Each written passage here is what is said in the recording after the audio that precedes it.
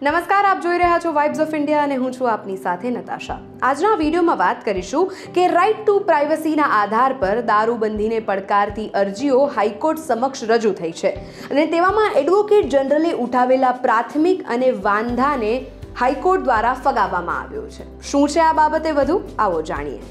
લોકો ઘરે શું ખાશે અને શું પીશે તેની પર રોક લગાવવાના સરકારનો અધિકાર નથી. અરજદારે એવી અરજી કરી છે કે ભાઈ લોકો ઘરે શું ખાશે અને શું પીશે તેની પર રોક લગાવવાનો સરકારનો અધિકાર નથી. ગુજરાતમાં દારૂબંધીના કાયદાની તરફેણ અને વિરુદ્ધમાં થયેલી અરજીની હાઈકોર્ટમાં સુનાવણી થઈ હતી. આ સુનાવણીમાં રાઇટ ટુ પ્રાઇવસીના આધાર પર દારૂબંધીને પડકારતી અરજી ટકવા પાત્ર છે. એવો મહત્વનો હુકમ કરીને હાઈકોર્ટે રાજ્ય સરકારને ઝટકો આપ્યો છે. બીજી તરફ, રાજ્ય સરકારે સુપ્રીમ કોર્ટમાં અપીલ કરવા માટે પણ સમય માંગ્યો છે. જેથી સરકારની માંગને ધ્યાને લેતા આ કેસની સુનાવણી બાર ઓક્ટોબરે રાખવામાં આવી છે. જ્યારે દારૂબંધીના કાયદાનો વિરોધ કરનાર અરજદારે સરકારની માંગનો વિરોધ કર્યો છે. અગાઉની સુનાવણીમાં પણ દારૂબંધીના મુદ્દે અરજદારોએ હાઈકોર્ટ સમક્ષ રજૂઆત કરી હતી કે ઘરની ચાર દિવાલોમાં વ્યક્તિ શું ખાશે કે શું પીશે તેની પર રોક લગાવવાનો સરકારને અધિકાર નથી. અરજદાર દ્વારા રજૂઆત કરવામાં આવી હતી કે બહારના રાજ્યમાંથી દારૂ પીને ગુજરાતમાં આવવા પર પણ સરકારે રોક લગાવી છે, જે યોગ્ય નથી. જે રાજ્યમાં દારૂ પીવાની છૂટ છે, ત્યાંથી દારૂ પીને રાજ્યમાં આવનારા લોકો સામે પણ કાર્યવાહી કરવામાં આવે છે, તે વ્યાજબી નથી. દારૂ પીધેલી સ્થિતિમાં રાજ્યમાં પ્રવેશ ગુનો બનશે તેવો નિયમ વ્યાજબી નથી. બીજા રાજ્યમાંથી દારૂ પીને ગાડીમાં પેસેન્જર સીટ પર બેસીને આવતા લોકો સામે કાર્યવાહી યોગ્ય નથી. તો આ બાબતે એડવોકેટનું શું કહેવું છે? આવો જાણીએ. એડવોકેટ દેવેન પરીખે જણાવ્યું કે દરેકને પોતાની આઝાદીનો અધિકાર છે. જેમાં તે શું ખાય છે, શું પીવે છે અને જો ઘરમાં બેસીને બીજાને અડચણરૂપ ન થાય, તે રીતે દારૂ પીવાની છૂટ હોવી જોઈએ એવું અરજદાર માને છે.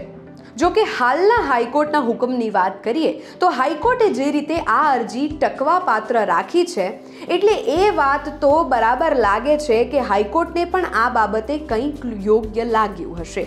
સરકારનો વાંધો રદ કરતા હાઈકોર્ટને એ પણ લાગ્યું હશે કે આ મુદ્દો બીજા જૂના મુદ્દાઓ કરતાં ઘણો અલગ છે. હવે અહીંયા એ જાણવું ખૂબ જરૂરી છે કે આ અગાઉના ચુકાદાઓમાં હાઈકોર્ટની સુનાવણીઓમાં હાઈકોર્ટે શું કહ્યું હતું? અરજદારે રજૂઆત કરી હતી કે ડ્રાઈવરે દારૂ પીધો હોય તો સરકાર કાર્યવાહી કરે, પરંતુ આ પ્રકારની રોક વ્યાજબી નથી.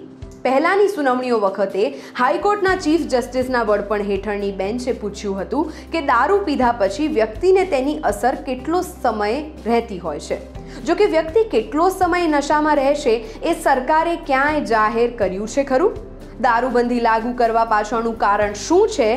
તે કાયદાના વ્યાપ કે હેતુમાં ક્યાંય લખેલું છે ખરું? આવા સવાલો ઉઠ્યા હતા.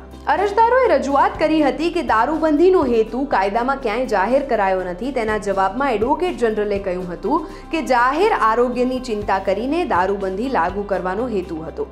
અરજદારોની રજૂઆત હતી કે બંધારણ સભાની ચર્ચામાં પણ દારૂબંધી મુદ્દે સભ્યોમાં મતમતાંતર હતા. બંધારણ સભાએ પણ પ્રોહિબિશન લાગુ કરવું કે નહીં એનો નિર્ણય રાજ્યો પર છોડ્યો હતો. દારૂબંધીના કાયદાને ઘણી જોગવાઈઓ મુદ્દે બોમ્બે હાઈકોર્ટે કે સુપ્રીમ કોર્ટે કોઈ નિર્ણય લીધા નથી. તેવામાં આ હાઈકોર્ટને સત્તા છે કે કેમ? આ મુદ્દા ઉપર નિર્ણય લે એવી પણ અરજદારોની રજૂઆત હતી. હવે એક ઉદાહરણથી આ વિડીયોને વધુ સમજવાનો પ્રયત્ન કરીએ.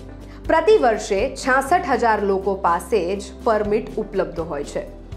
અગાઉની સુનાવણીઓમાં એડવોકેટ જનરલે દારૂબંધીના કાયદાને પડકારતી અરજીની સુનાવણીમાં રજૂઆત કરી હતી કે રાજ્યમાં છ પોઈન્ટ પંચોતેર કરોડની વસ્તીમાં માત્ર એકવીસ હજાર લોકોને જ હેલ્થ પરમિટ આપવામાં આવી છે. વિઝિટર અને ટુરિસ્ટ પરમિટ જેવી ટેમ્પરરી પરમિટ થઈને પણ રાજ્યમાં દર વર્ષે માત્ર છાસઠ હજાર લોકો પાસે જ પરમિટ ઉપલબ્ધ છે. તેમણે રાજ્યમાં ઇકોતેર વર્ષથી દારૂબંધીનો કાયદો અમલમાં હોવાની પણ વાત કરી હતી. આ ઉપરાંત મહાત્મા ગાંધીના અહિંસા અને નશામુક્તિના સૂત્રોને સાર્થક કરવાનો પ્રયાસ છે એવી પણ રજૂઆત કરી હતી. તેઓએ કોર્ટમાં જણાવ્યું હતું કે ગાંધીના ગુજરાતમાં દારૂબંધી યોગ્ય છે. દારૂબંધીના કાયદાનો ભંગ કરીને વ્યક્તિ પોતાના ઘરે બેસીને દારૂ પીવે તે પણ ચલાવી લેવાય નહીં. તો આવા જ અનેક રસપ્રદ વિડીયોઝ માટે આપ જોવાનું ચૂકશો નહીં વાઇબ્સ ઓફ ઇન્ડિયા હાલ બસ આટલું જ. નમસ્કાર.